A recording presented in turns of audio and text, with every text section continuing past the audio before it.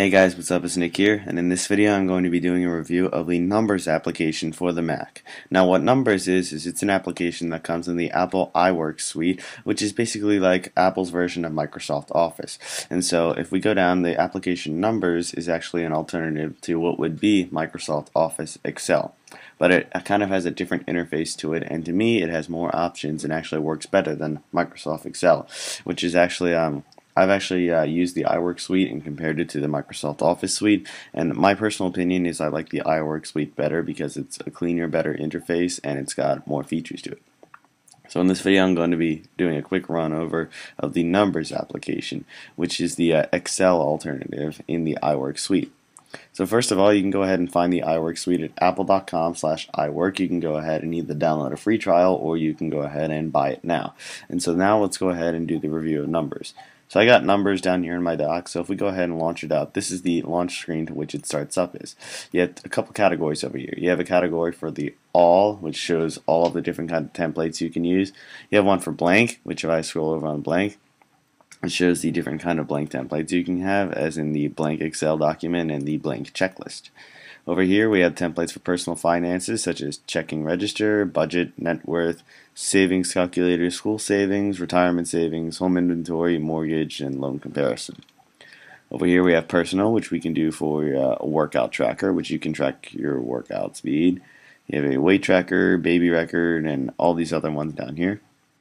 For business, down here we have an employee schedule, an invoice letter, an expense report, financials, and return on investments. And you're on education, you have something for science lab, grade book, gravity lab, and math quiz.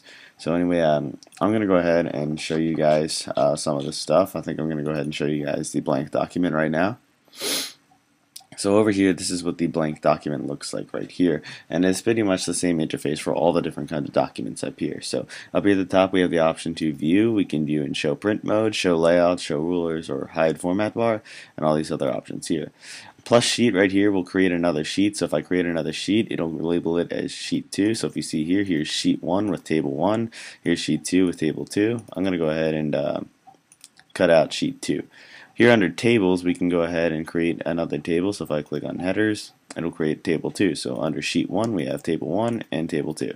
I'm going to cut out table 2 there.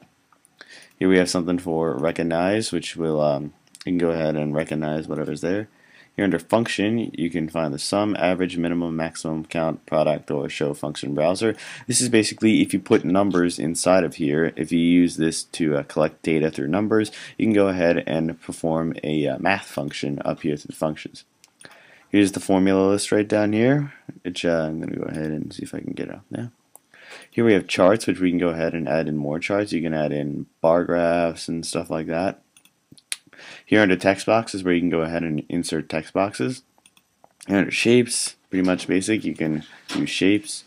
Here's the comment where you can go ahead and add a little sticky note comment. To like if I went ahead into the G thing right here and typed in green, here under the comment that I inserted, I can go ahead and type something in like, yeah, it's green. I don't even know why I chose green, but anyway. So over here we have a link to go to iWork.com, which I showed you in the description. Here we have the inspector, so if we go ahead and click that, it'll bring up this with the uh, printer setup, uh, all, the file name, tables, text boxes, and all that other kind of stuff. Here we have media, which we can go ahead and um, add in media from either audio, photos, or movies, so you can add even audio, movies, and photos to your document right here. Here we have fonts, which it'll bring up the font manager window where you can go ahead and change your font right here.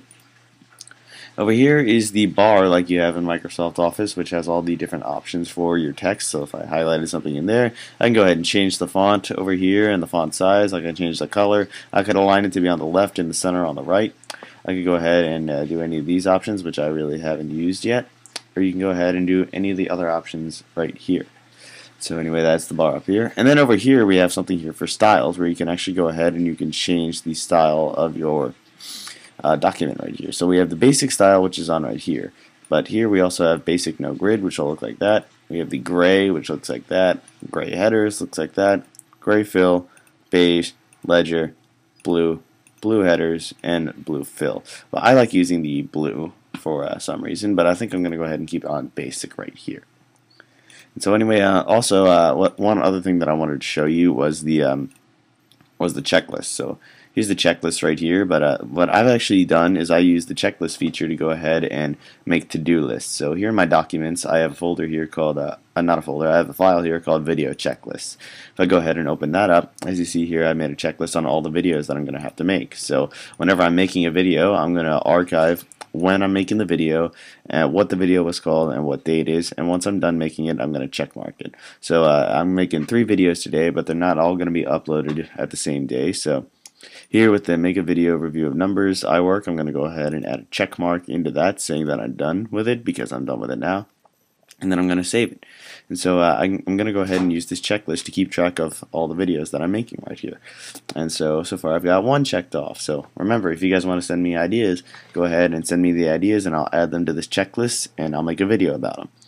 And so I'm going to go ahead and close out of that. So basically that is the review of the Numbers application, which you can go ahead and uh, download from iWork.com or apple.com slash iWork. So it's basically a Microsoft Office Excel alternative, and in my opinion, it's actually better than the normal Microsoft Office Excel. So anyway, this has been my review of Numbers from the Apple iLife suite. If you guys want to suggest videos from me, please feel free to go onto my website, which is um, applepc98.net tc. So let me just go ahead to the link right here. You can go ahead and suggest ideas to me by going here to my contact page and sending me ideas by filling out this contact form. So anyway, that's been my review of Apple numbers. Thanks for watching, and I'll see you guys in the next video.